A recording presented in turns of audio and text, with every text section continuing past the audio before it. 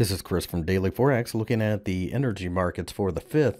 This is the WTI crude oil market in front of you, and we have uh, broken through a major trend line uh, that goes back to about September of last year, maybe even beyond that. So, by breaking through this trend line, that's a very negative sign. I think 62 is a fair bet, maybe 60 below there. Uh, if we close on a daily chart well above 66, then we will have shown some resiliency. But the fact that we're closing towards the bottom of this candle tells me that we're more than likely going to see continuation. Over here on the nat gas markets, the question I now have is, have we just formed a double top? We are crossing on the MACD um, a little overbought. Uh, the high the most recent high, I should say, is slightly under the one before it. So we'll have to monitor that. I suspect that today we could go to 285, possibly 280. I see a ton of resistance starting between 295 and $3.